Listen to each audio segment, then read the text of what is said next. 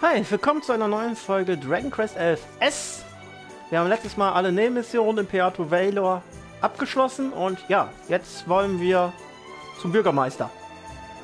Diese Villa gehört Don Rodrigo. Er ist der berühmteste und angesehenste Kompre in ganz Puerto Valor. Ihr könnt gerne hinein, aber macht keinen Ärger. Claro? Ich und Ärger. Das ist eine Wörterkombination, die nicht zusammenpasst. Okay, gucken wir uns... Es guckt ja keiner, ne? Meins.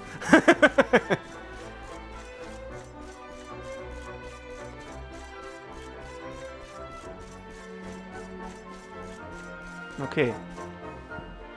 Hier trainieren Kinder, okay, alles klar. Haben wir schon mal einen guten Eindruck von guten Don Rodrigo, was das so für ein Typ ist?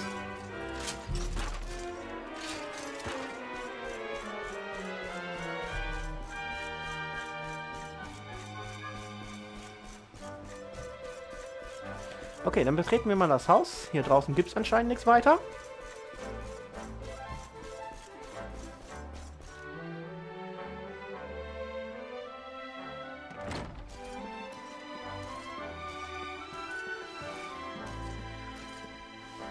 Senor Roberto, so wonderful to see you after so many years. And your companions too, of course. Good to see you looking so well, Cervantes. Now, I don't suppose Don Rodrigo's about for a wee chat, is he? Ah, lo siento, senor, so sorry. But I am afraid he has gone to Eliador. He is instructing the guards there in the art of swordsmanship, you see. Ah, now that's a shame. I do so love our wee chats about fighting and horses and fighting. Don Rodrigo will be sorry to have missed you too, senor. He often speaks of your visits very fondly. Well, I'm sure we'll have a chance for a proper chinwag next time I'm in town. Now, there's something I was wanting to ask you, Cervantes. I was hoping to head out to sea in search of more interesting topics of conversation. You couldn't open the sea gates for me, could you? It will be my pleasure, Senor Roberto. Can you imagine how angry Don Rodrigo would be if I refused? I will open them right away. If you go on board your ship, you will be able to sail straight through. You're a good man, Cervantes. Thanks a million. And give my regards to Don Rodrigo, won't you?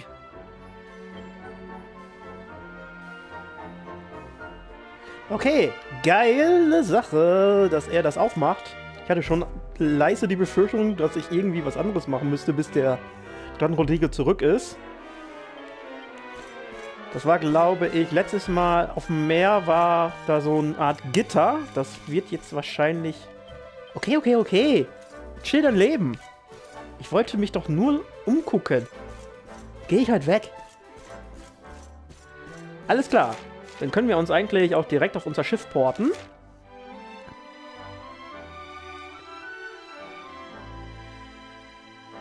Was leider nicht so einfach geht.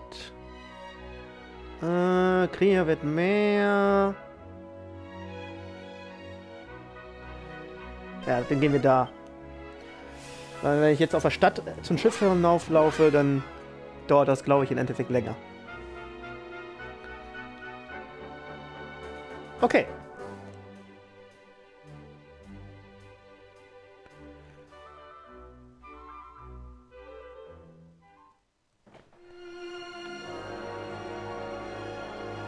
Dann dadurch. Wolltest du das Tor nicht aufmachen? Es ist zu, mein Freund. Jetzt aber Dully.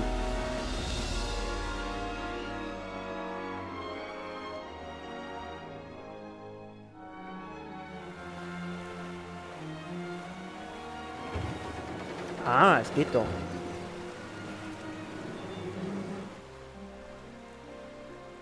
There's our pal, Cervantes. Give him a nice thank you wave, everybody.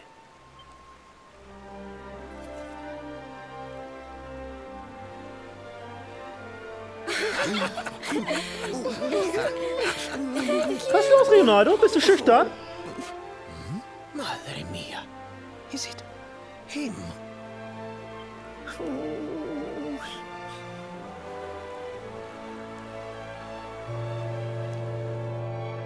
Sonst immer die dicke Klappe, ne?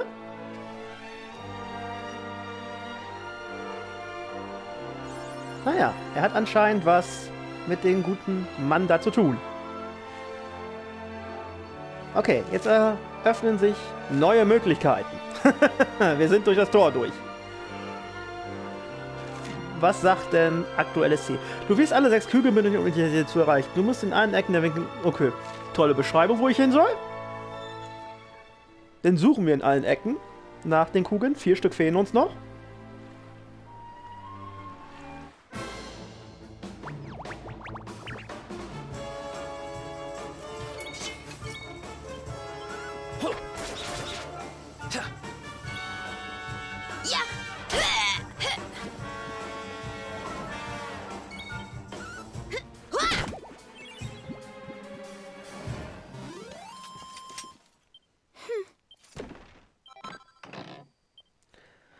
Der Karte sieht man da gleich schon einen Ankerplatz, aber wie soll man da hinkommen? Ähm, ja, gut, ne? Das ist ein See. Das hat, glaube ich... Wir haben ja da in der Nähe von Kreia-Welt schon so ein Portal gesehen, aber mit denen kann ich zurzeit noch nichts machen. Ist wahrscheinlich für später dann gedacht.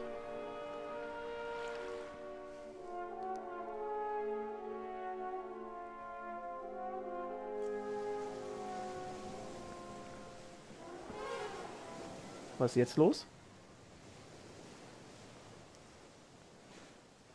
Ugh, where did all this horrible fog come from? I can't see a thing. Hey, Sylv, what's going on? I'm truly mystified. But whatever it is, I don't like it. Steering hard a starboard! Ja, w- was soll denn das, wenn du nichts sehen kannst?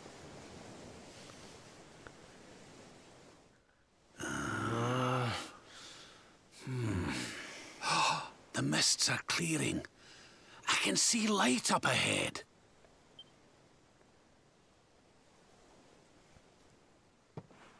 Where in the world are we?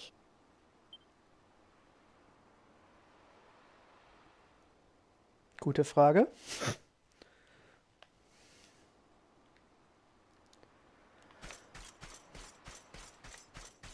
Hier ist anscheinend ein Schiff gestrandet.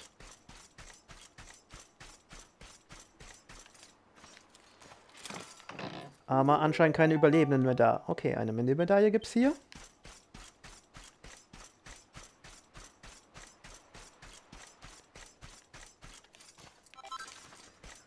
Bisschen Zeug.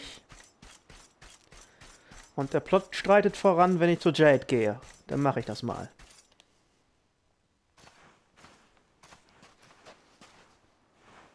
What a strange place. It's almost like being in a dream.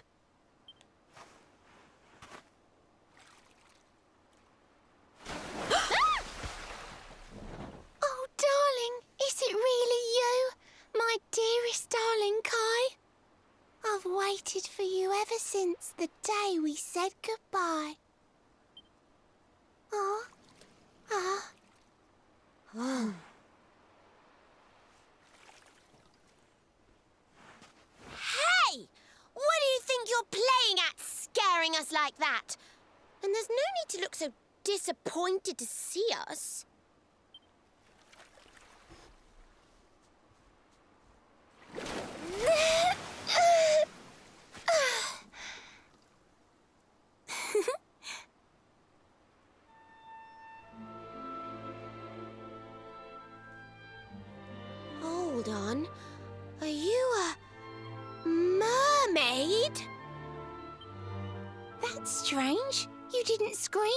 Try to catch me in a net.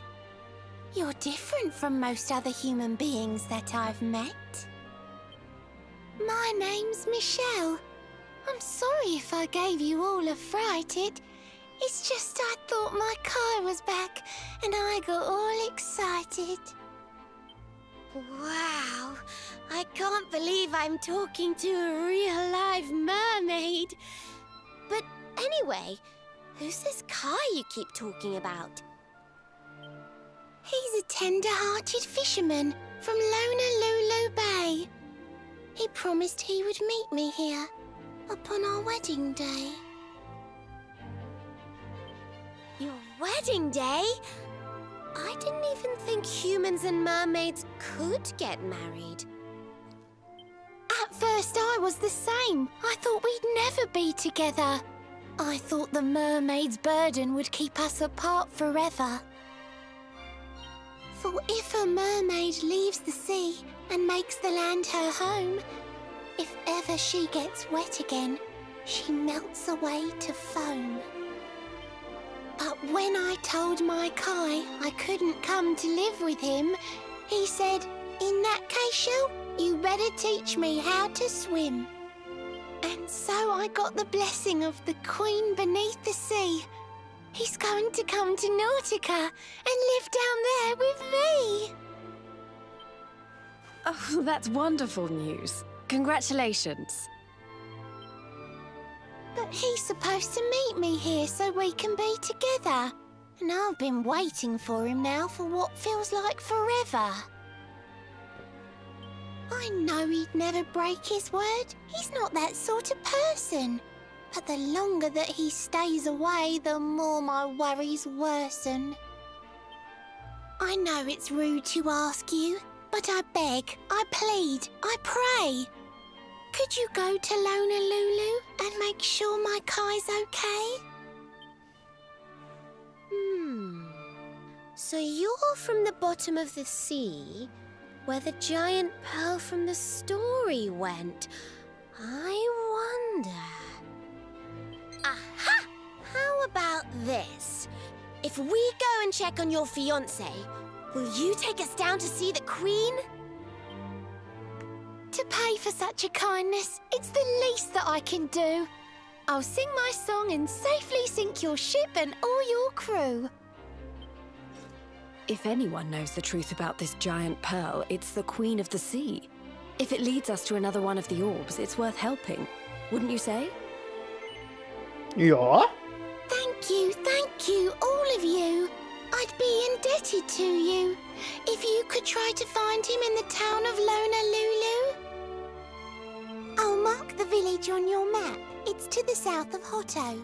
A beautiful blue bay behind an isolated grotto. My Kai is a famous fisherman, as ragged as the ocean. A hunky, chunky sailor stuffed with smouldering emotion. Oh. oh, now I'm all embarrassed. Don't tell him what I said. Just bring my darling back so we can finally be wed.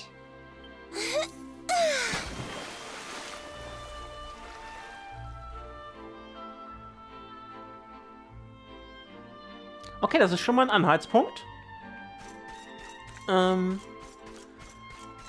die nächste Kugel scheint auf dem Meeresboden zu sein. Dann müssen wir der guten Marielle ja erstmal den Gefallen hier tun.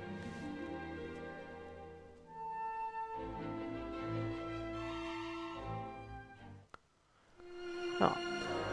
Warum er wohl nicht kommt, so wie sie von ihm gesprochen hat, da ganz unten ist das. Aber wir haben hier reichlich Ankerplätze, die wir ansteuern können, ne?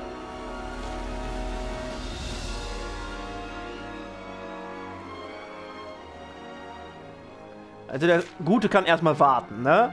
Also ich habe hier erstmal reichlich Orte, die ich ansteuern kann.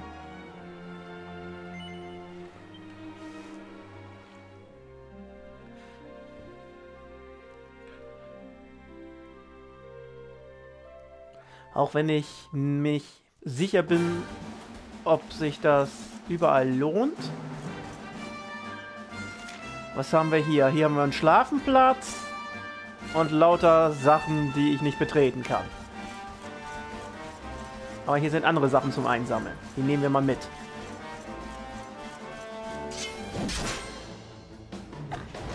Und ich weiß nicht, sind die Gegner gefährlich für mich? Oder wie sieht das aus? Das sind, glaube ich, die alten, die noch um Dings herum gehuscht haben. Um Escheburg. Ja. Nee, nee, Gegner sind vollkommen im Rahmen.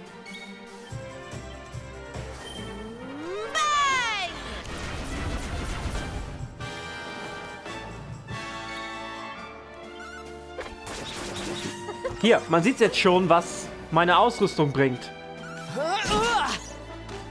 Obwohl, ich bin auch jetzt vorher dran gewesen. Ich wollte gerade sagen, Erik ist verdammt fix jetzt. Er war zweimal dran, bevor hier überhaupt jemand anders dran war. Aber das hatte, glaube ich, mit der Geschwindigkeit der Gegner zu tun. Die sind nicht so wirklich fix, habe ich den Eindruck.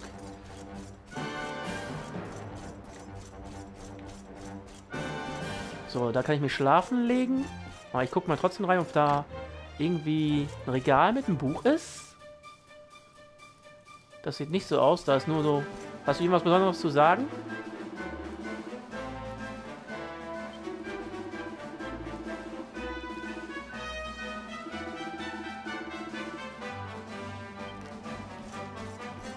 Okay. Sag doch gleich, verpiss dich. Der war uns nicht ganz so freundlich zugeteilt. Ja, okay. In diese Gebäude komme ich halt noch nicht rein. Ist hier irgendwie noch so ein Ding, was ich aufnehmen kann? Nö. So, den bekämpfe ich mal noch. Auch wenn der böse aussieht. Ja, der ist auch alleine.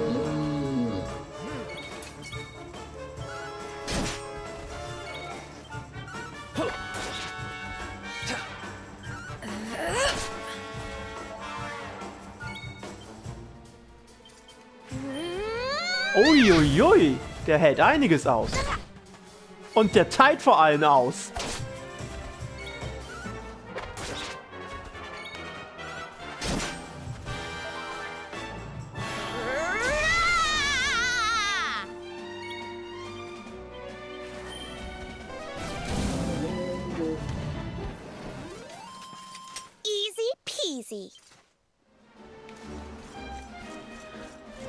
Dann ist auf dieser Insel hier nichts weiter erstmal zu sehen.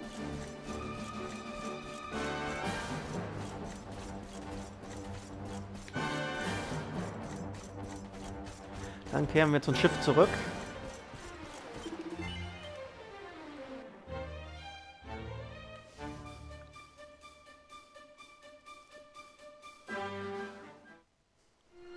Okay, dann lass mal überlegen, wie ich weiter vorgehe.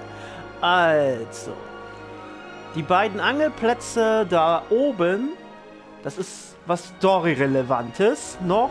Also da, wo die Eisinsel ist. Das kann ich, glaube ich, erstmal meiden.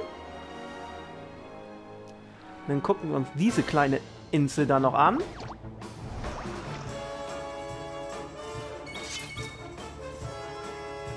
Wen haben, wer ist gerade dran? Erik, ne? Okay.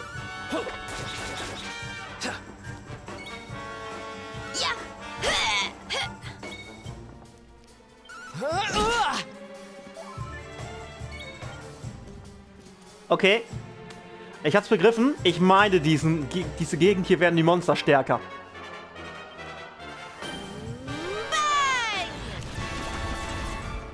Oder? Auch nicht.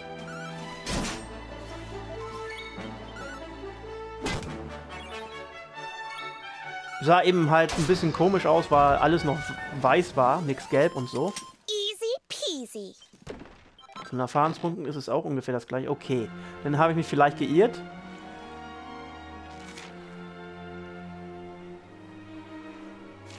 Dann können wir das hier doch ansteuern.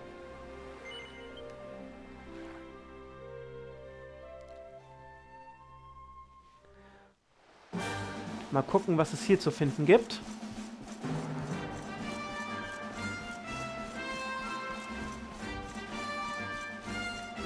Erst mit dem Schiff stehen uns halt ein paar Möglichkeiten offen und sind jetzt nicht mehr so begrenzt wie zu Anfang, als wir das Schiff bekommen haben. Jetzt steht uns quasi der ganze Kontinent zur Verfügung. Okay, da komme ich nicht rüber, weil ich nicht fliegen kann. Aber wir können uns hier noch ein bisschen umgucken. Ich hoffe nicht, dass ich wirklich zu einer Insel hinkomme, wo mir zu starke Monster über den Weg laufen. Aber bisher hält sich das noch alles in Grenzen.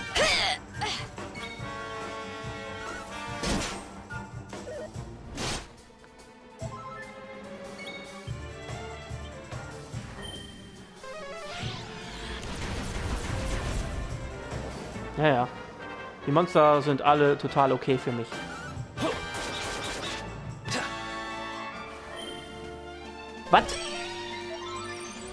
Are you serious? Die können sich heilen? Ja. Und Veronica ist fast tot, also gar nicht gut.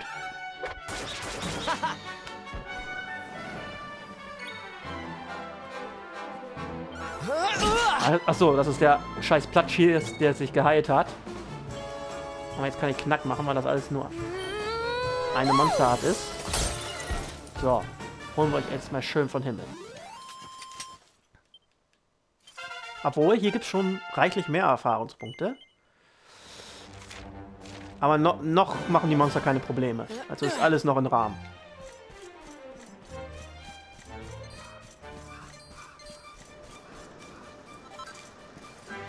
Ja, der hat keinen Bock. Okay, dann ist das so.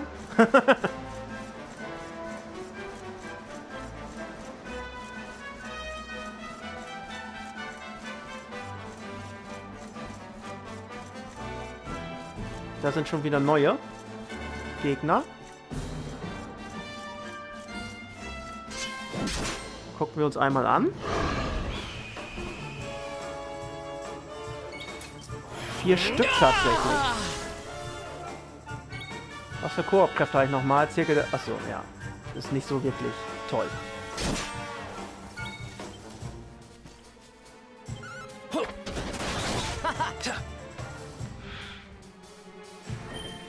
Magische Barriere. Kriegen die jetzt nicht mehr so viel magischen Damage oder was bewirkt das? What?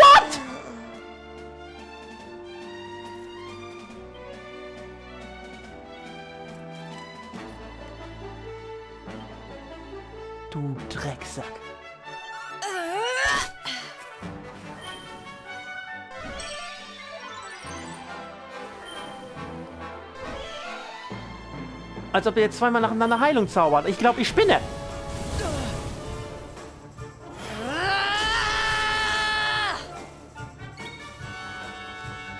Folger fußfähiger, Jade muss gekräftigt sein, beide. Löwengeburt. Entfesselt eine Schockwelle, die sämtliche... Ja, was heißt das?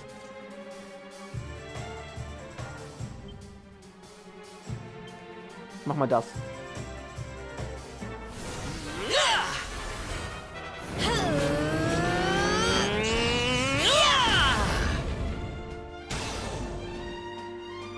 Achso, die können jetzt nicht agieren. Ja, ist nicht schlecht.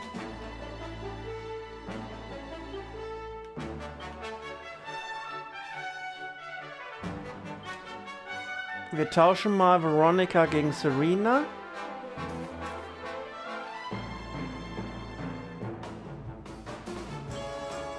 Das ist eine dumme Entscheidung. Wir tauschen mal gegen Bodo. Let me at him! Ich wollte eigentlich Veronica heilen, aber erstens funktioniert das nur zu 50% und zweitens...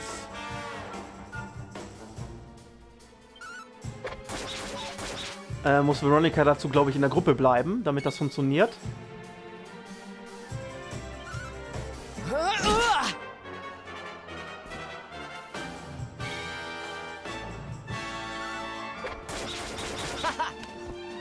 So, ein Vieh ist schon mal down. Geh mal auf den, damit der verreckt.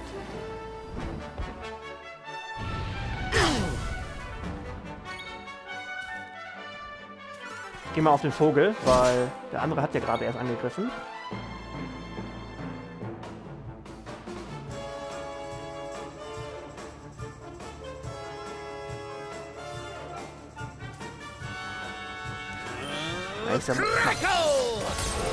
So, der kann jetzt von mir aus umkippen. Und jetzt den anderen Vogel.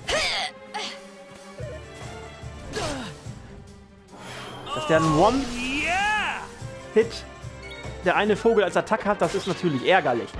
Und dass es ausgerechnet Veronica trifft. Eric wäre genauso ärgerlich gewesen, aber-. Mehr Heilung. Das ist gut, oder? Mehr Heilung ist, glaube ich, nämlich. Apropos. Müssen erstmal jetzt Serena wie äh, Veronica fit machen. Mehr Heilung ist tatsächlich etwas, was.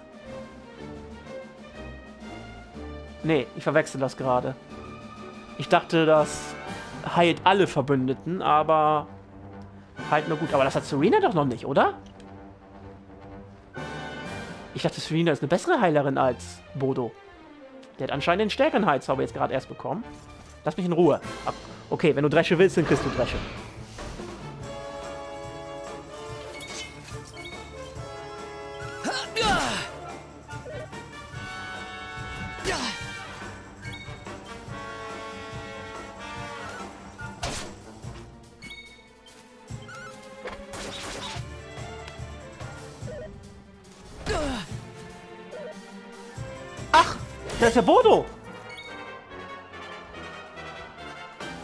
Man mitten im Kampf wechselt, bleibt das permanent. Ach so.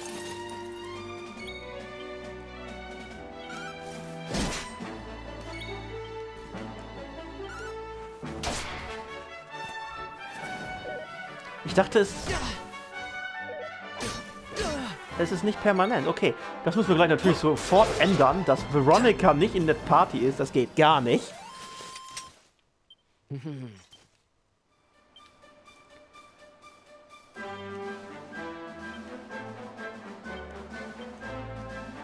Also überhaupt nicht.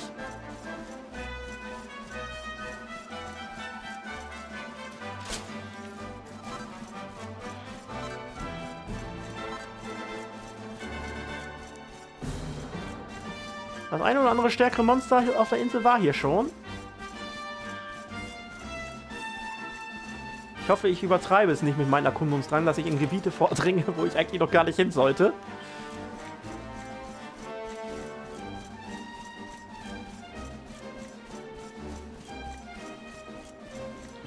Aber diese Insel hätten wir jetzt erforscht.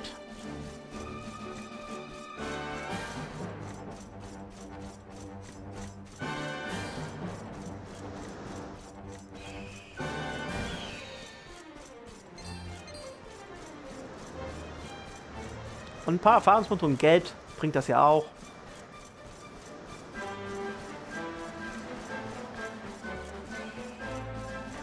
Auch wenn ich das, glaube ich, zu gut meine mit meinem Forscherdrang.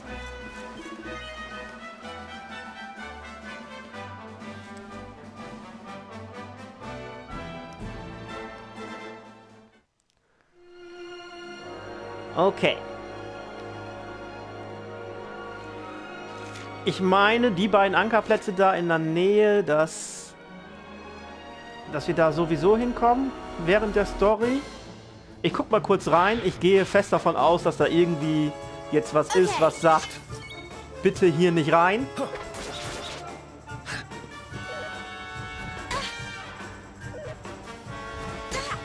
Hallo? Sag mal, was haben die ganzen Gegner gegen meine Veronica?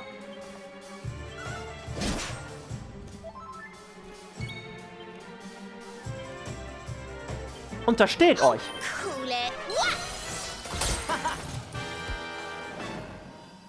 Sonst gibt's eine neue Eiszeit. Another one? But Okay, gucken wir mal. Ich glaube fest, dass... Ich bin fest davon überzeugt, dass hier jetzt irgendwas mir verbietet, das zu erkunden.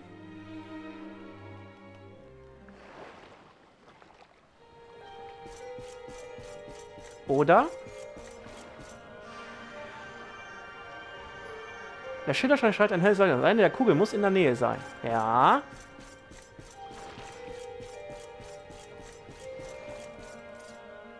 Aber ich komme da, glaube ich, nicht rein. Here we are, the Crystal Kingdom of Sniffleheim, home to the famous Blue Orb. Ah, it's a fair wee while since I've visited, but it warms my heart to be back. That must be about the only thing that is warm around here. Let's hurry up and get inside before we all freeze to death.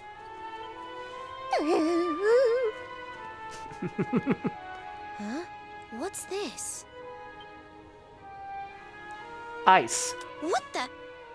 The gates are covered in ice. Look, they're frozen shut.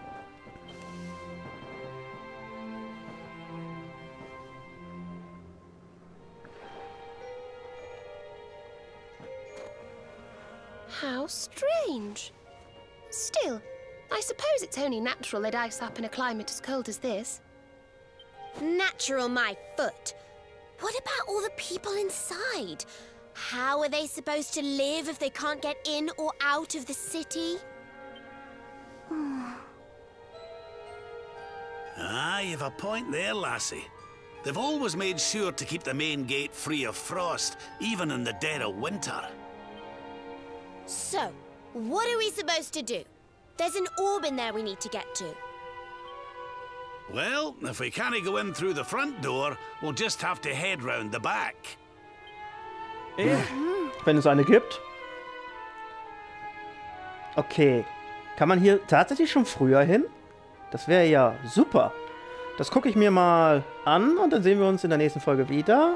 Ich hoffe, es hat euch gefallen. Lasst doch gerne ein Like und ein Abo da und bis zum nächsten Mal. Ciao.